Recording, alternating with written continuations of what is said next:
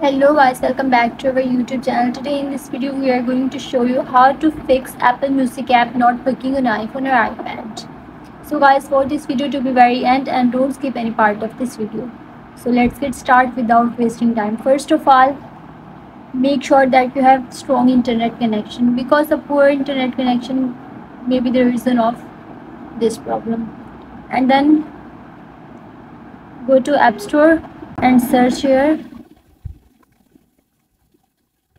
Apple Music app.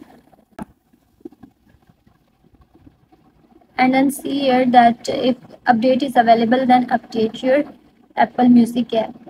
After doing this simply go to settings scroll down and go to general.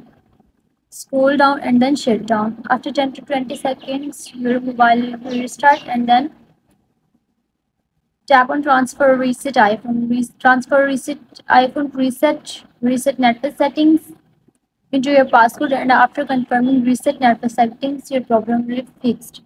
And then go back. Tap on software update. If update is available in pending then update. After applying these some steps your problem will be fixed. I hope guys you are really enjoying this video. Friends, if you have any problem then please let me know in the comment box.